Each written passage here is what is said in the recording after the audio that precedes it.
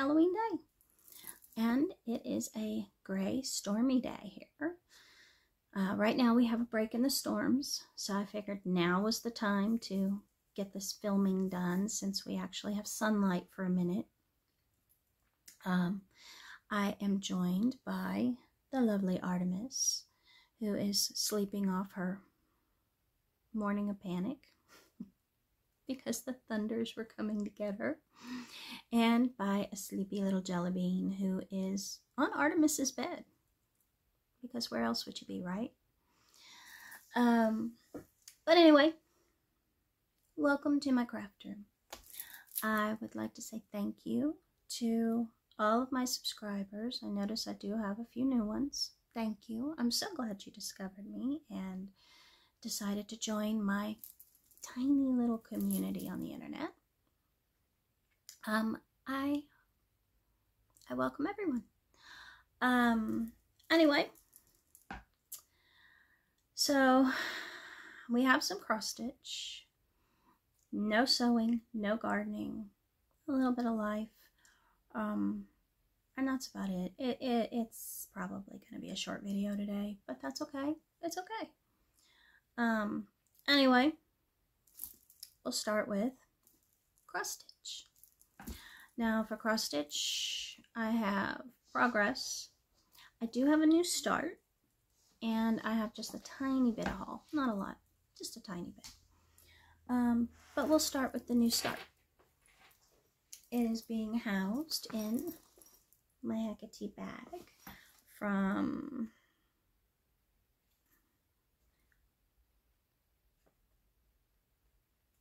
Little Boat 8 8 maybe?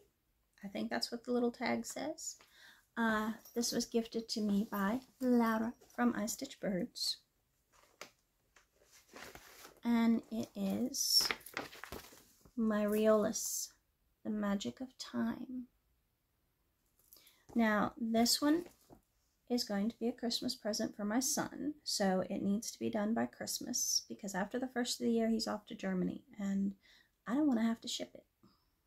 I'd rather him just take it with him. I am using all of the kit materials. I'm not making any changes. I'm not making any alterations. It's going to be just the kit materials. It's 14 count plain black Aida and anchor floss. Now, I only worked on this for one day. Um, and I only worked on it for a couple of hours, or for about an hour, I think, because Cheeto was being particularly needy that day. But this is what I've gotten done. As you can see, I'm working on the hourglass um, the hourglass is the only cross-stitched part of it. The rest of it is all backstitch. And backstitch goes quick for me, so I'm not worried about it. I think I will be done with this fairly quickly. I don't really predict that it will be taking that long. Um, my needle minder came off of it. There we go. But in any case, that's what I've gotten done thus far. It's a good start, especially for only, you know, working on it for about an hour. But like I said, Cheeto was being very needy that day and insisted he needed my attention. The cross stitch did not. So, he got his attention and lots and lots of love. He has, you know, my little feral boy has turned into a complete snuggle bug. He is a lap cat. Well, only if it's mama's lap, though. Nobody else's. Don't ask me why. But he's latched on to me, which is fine. I, and it's probably because I'm the one who's with him all the time, not my husband. But anyway, on to progress. Now, the first one I had mentioned before that I was going to be spinning the wheel again because I'm tired I'm tired of working on all of the stitch alongs and nothing else.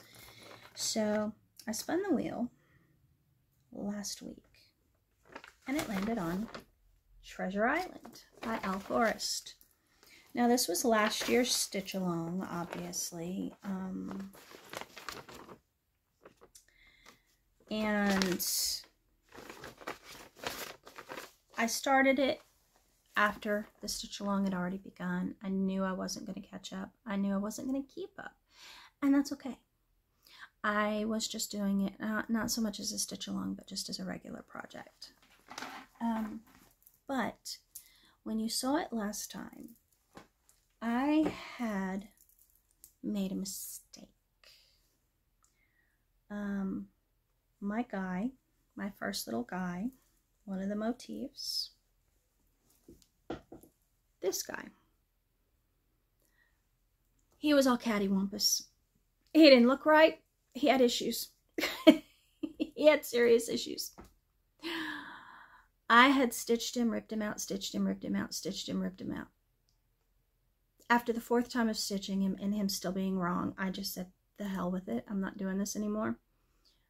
Unfortunately, that's all well and good, but I can't stand it because I knew he was wrong and that's all I could see when I looked at the project. So I sat down and finally found the mistake and ripped it out and stitched it over. And now as you can see, he's fine. He's correct. Now I'm not doing the back stitching in the face because they they had red floss and giving him some kind of bozo the clown thing going on and I wasn't about that. So I'm not doing that. I did the eyes and that's that's all it, all I'm gonna do. I, I can't I can't go with the no no we're not have we're not having that.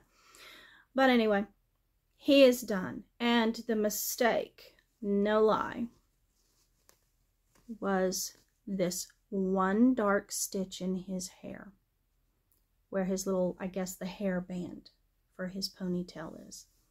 That stitch was off and everything underneath it was off because of it. Once I discovered that and fixed that one dark stitch, everything else stitched up fine. so go figure. But I'm happy. It's fixed, it's repaired. He doesn't he, he no longer has issues. but after I got him all fixed, I went on to work some more on this ship. Now, before, when you'd seen it, I had the wooden framework done in the brown, and now I'm filling in the sails. So, progress on this one finally. Hard won progress. Now this is being stitched on a 16 count Aida that I tea dyed myself just to give it kind of an aged look. Um, I'm, I'm using DMC, all DMC floss. And I really don't mind stitching it. Now, I'm not a huge fan of stitching people, but obviously it's based on a book. It's kind of hard to have a story with no characters. So that's okay. I'll stitch the guys. And I don't mind stitching the guys as long as I don't mess them up. and there's not some kind of hideous deformed creature. but that's my treasure island. Now the next one I worked on is being housed in my veggie bag because we like veggies. I made it myself. And this is the Stitch Crypt, a study of skulls.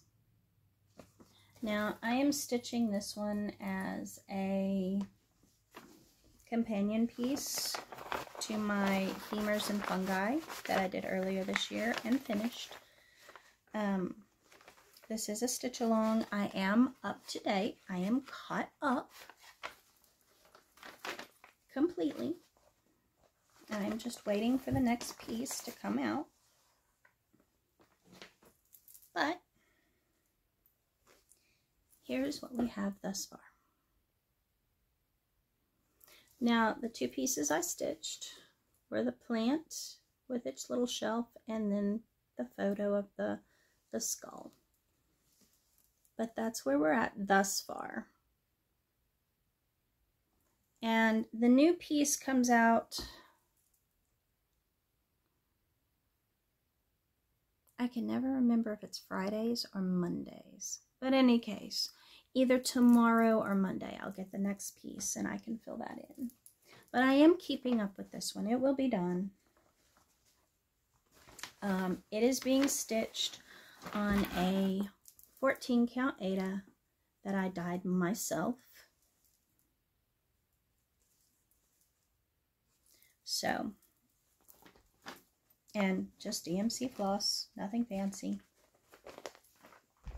I'm not making any changes. Those are the called for colors and everything. And the last one that I made progress on, you guessed it, we got Mario. We've got the baby Mario. Now let me see if I can find the picture. We have baby Mario. This is a pattern by Koala T Stitch. And this is going to be a Christmas present for my daughter. Now it is being housed in the Mario bag that I made myself out of scraps from when I made her a Mario nightgown. But I thought it was appropriate for a baby Mario stitch. Now, when you saw it last time, it looked like this. I had finished the entire top half of it. Oh, I've got cat hair in my eyeball. Um, now, I've begun working over here I've got another star filled in. I've filled in a lot more of his face and some more of the hat. Um, I, I have not outlined them because I ran out of the DMC 550, which is the outline. So Saturday I'll run up to Hobby Lobby and get some more of that. Um, this, this pattern takes a lot of 550 because all of the outlines are 550. But I can still fill in the color blocks and then just fill in the outline afterward once I get the 550 from Hobby Lobby this weekend. But that's what I've gotten done. This is being stitched on a 14 count Aida. It is a Charles craft and it is Sunset. It's one of their printed fabrics. It is tones of pink and purple. Not that you can tell in this light. Lovely but pink and purple is the color of her bedroom. So I figured that would be perfect. And since this is actually not a red red, it, it, it actually goes with the pink and purple colors fairly well. So, so I've made progress on that one. Now, I actually put in, let's see, I put in another 1,035 stitches, which puts me at 67% done. So making progress.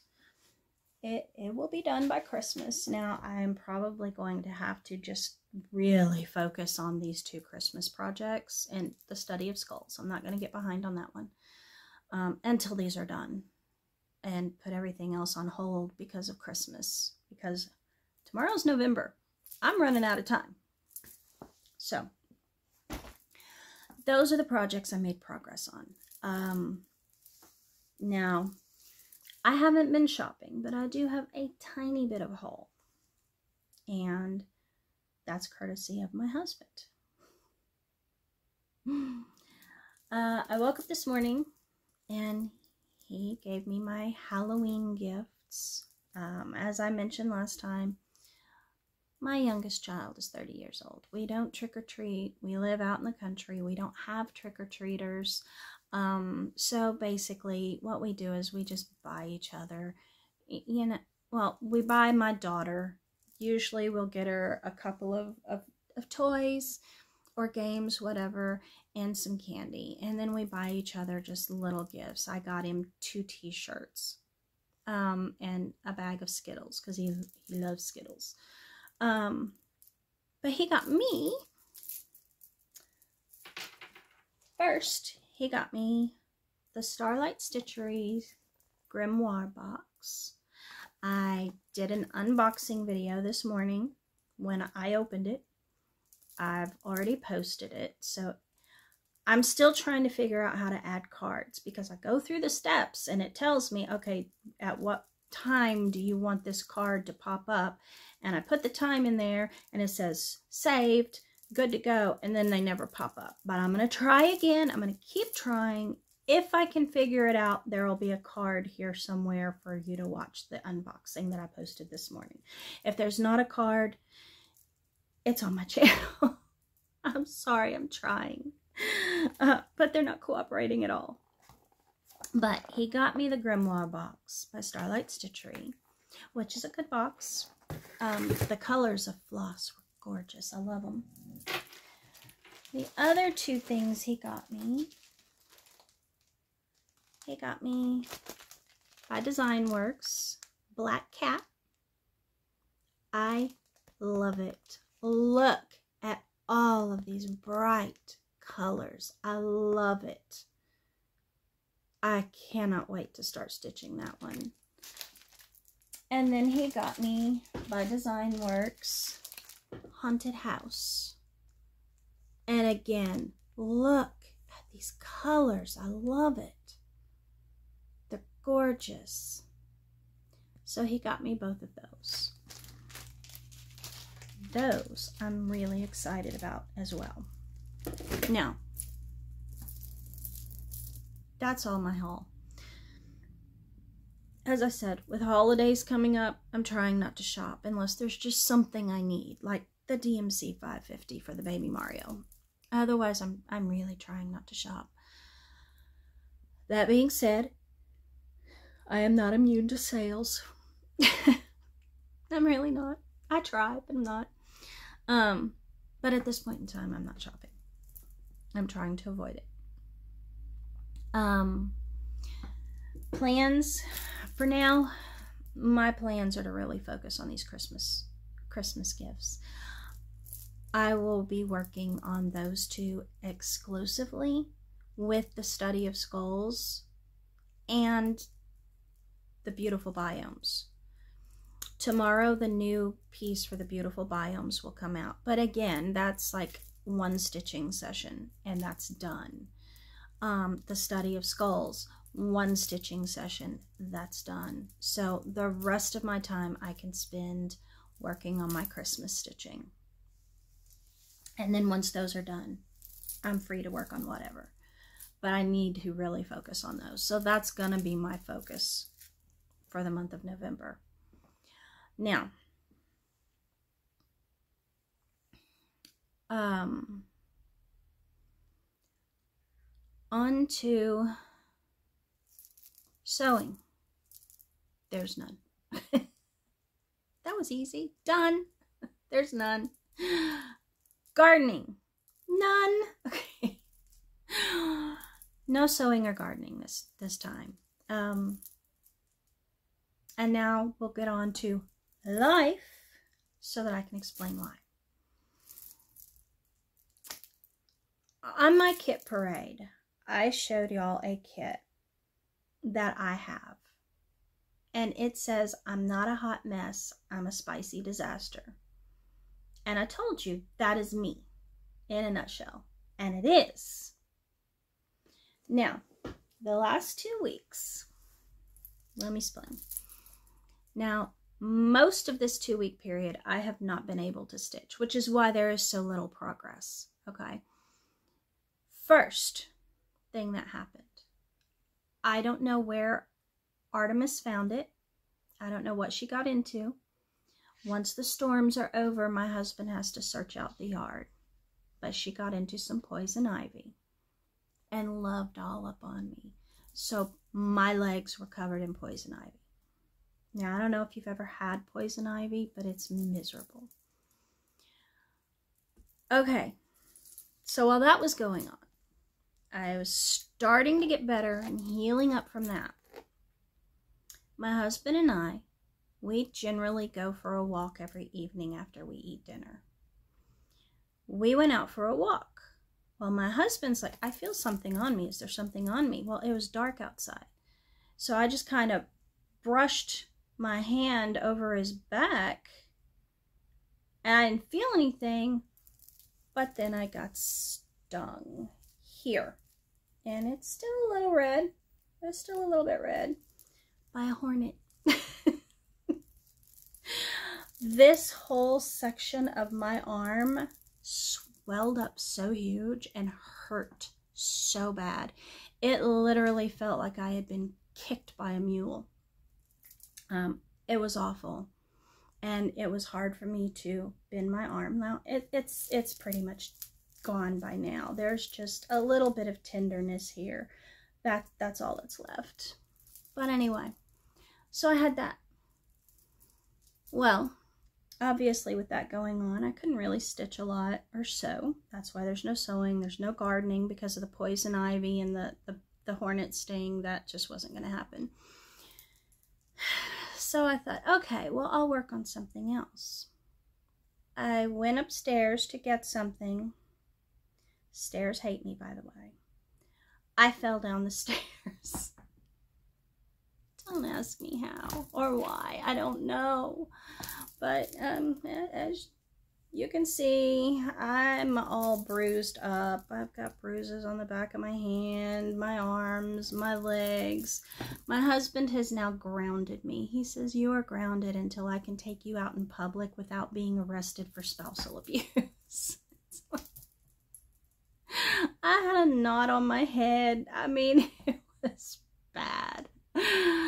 So that's why there's no progress on sewing or gardening. because life is trying to kill me off. But I'm healing. I'm getting better. Okay. oh, and when I fell down the stairs, I twisted the same ankle for the third time. but that's healing. I'm getting better. So now I can go back to stitching and everything. So I don't know what to tell you. That's been my life. Okay. I don't know. it's a thing. But anyway, so there hasn't been a whole lot of progress on anything really. But now that I'm healing up, I can start getting back on it because I still have all my Christmas sewing to do too. Um, but yeah, that's what's going on here. That's all that's going on. As I said, it's going to be a short video this time. I don't know what to tell you. But anyway, that's what I've got. That's what I've been working on. I am, like I said, I'm probably going to put spinning the wheel off until I get these two Christmas projects finished. I think the Baby Mario is going to take longer than the Magic of Time. Uh, the Magic of Time, the only part that's cross-stitched is the hourglass. So the back, the black you know, the black work, back stitch, whatever you want to call it, all along the outside of it. That's not going to take me long. But anyway, that's what's going on here. Um, as I said, you know, thank you to all my new subscribers. Thank you to my old subscribers. I love all of you. I am so happy to have you join me here in my little clumsy craft room. um, but anyway, uh, if you haven't subscribed yet and you saw something you like, um, you want to see how else I try to kill myself in the future, see my progress on my, my Christmas gifts and things like that, feel free to hit the like, subscribe, share, all that good stuff. I love your comments. I read and answer every one of them. Uh, the two giveaway winners have already answered me. Um, one of them, the one who won the, the pattern, she's already gotten it. She got it today, just in time. Yay! Uh, the other one, although, had to go to the UK, so she won't get it the bag, she won't get that for, you know, a hot minute because postal service. but it's already been sent. It's on its way. It's winging its way across across the ocean. Um, and hopefully she loves it when she gets it. Anyway, that's all. That's all I've got today. I am going to try to get this uploaded. Hopefully the storms won't knock out my internet. Living in an unincorporated area as I do, internet can be spotty. So, but I'm going to try. I'm going to try. We'll see how it works. Um, but until next time, um, two weeks from now, unless something happens, but two weeks from now, I'll see you again. And hopefully, maybe I'll even have, you know, a Christmas present finished. Fingers crossed. and hopefully I won't be looking like, you know, a, an accident victim. like I got hit by a bus. Um, but anyway, everyone have a wonderful weekend. Have a safe Halloween night. Enjoy whatever you're going to do to celebrate the thinning of the veil. And I hope to see you in two weeks. Bye. Happy Halloween.